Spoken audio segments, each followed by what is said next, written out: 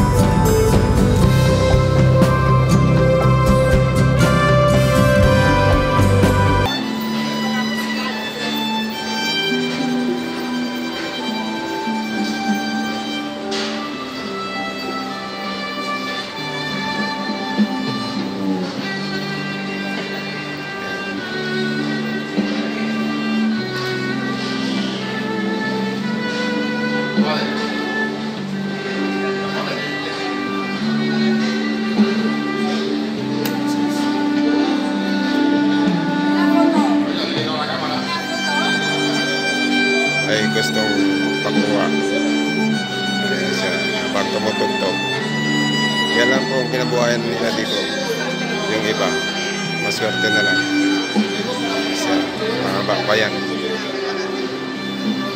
All the.